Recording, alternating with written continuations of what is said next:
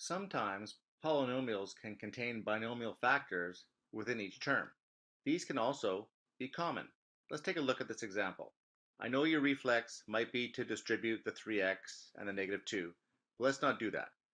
Let's take each term over on the right hand side and break it apart into its factors, leaving the x plus 4 as its own factor. When we do this, we can see that the x plus 4 in fact is a common factor for both terms. So what we can do is pull the x plus 4 out in front, leave a fairly large bracket for our leftovers.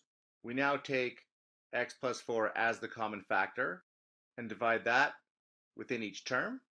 The x plus 4's will cancel in both expressions and leave us with 3x minus 2 in the brackets.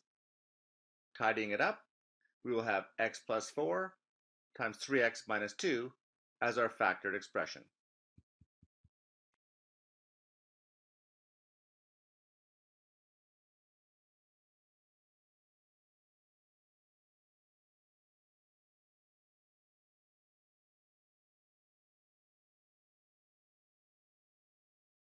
Sometimes, when polynomials appear more complicated, it's easier to substitute in a simpler term to see what's going on. So for this example, we'll notice that we have a b minus 7 in brackets. Well, that might look intimidating. So what we can do is let's make a substitution. Let's let the letter u equal b minus 7. So we can now replace the b minus 7 with the letter u and then rewrite our expression. This will give us 6a squared u plus 12au. Now let's take these two terms over on the right hand side and break them apart into their factors. Doing this, we will notice that each of them has a 2 in common, a 3 in common, the letter A, and our newly substituted letter U, resulting in our common factor of 6AU. So let's take this common factor and factor it out of the two terms. So again, we set up our bracket, we take the 6AU and divide it into each of the terms.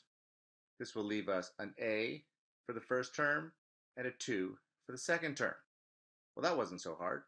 The last thing we need to do is to take our letter u, substitute it back in for its original expression, b minus 7. Once we've done that, we're left with 6a times b minus 7 times a plus 2 as our factored expression.